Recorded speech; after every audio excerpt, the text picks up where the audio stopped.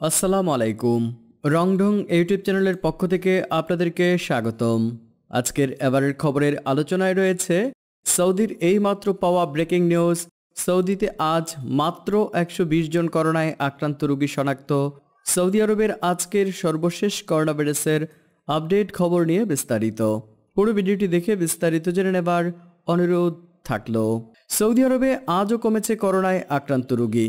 আজ পাঁচই সেপ্টেম্বর দুই সৌদি আরব সময় বিকেল তিনটা তিরিশ মিনিটে স্বাস্থ্য মন্ত্রণালয়ের ওয়েবসাইট থেকে পাওয়া সর্বশেষ তথ্য থেকে জানা গেছে, আজ নতুন করে একশো বিশ জনের শরীরে করোনা ভাইরাস শনাক্ত করা হয়েছে।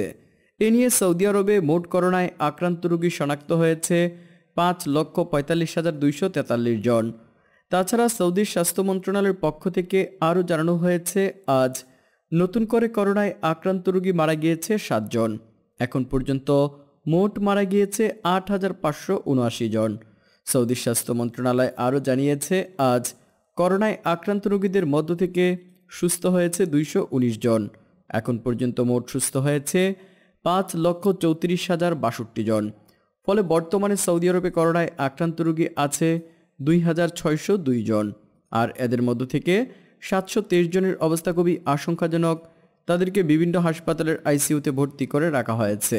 তো চলুন এবার জেনে নেওয়া যাক, আজ সৌদি আরবের যে সকল এলাকাতে সর্বোচ্চ সংখ্যক করোনায় আক্রান্ত রোগী শনাক্ত হয়েছে তা হল রিয়াদে পঁয়ত্রিশ জন, মক্কাতে বাইশ জন, পূর্বাঞ্চলে চোদ্দ জন, জাজানে নয় জন, মদিনাতে আটজন আল কাসিমে আটজন আসিরে সাতজন নাজরানে ছয়জন হাইলে চারজন তাবুকে তিনজন উত্তরাঞ্চলে দুইজন আলজৌফে একজন আলবাহাতে একজন করোনায় আক্রান্ত রোগী শনাক্ত করার খবর জানিয়েছে সৌদির স্বাস্থ্য মন্ত্রণালয়।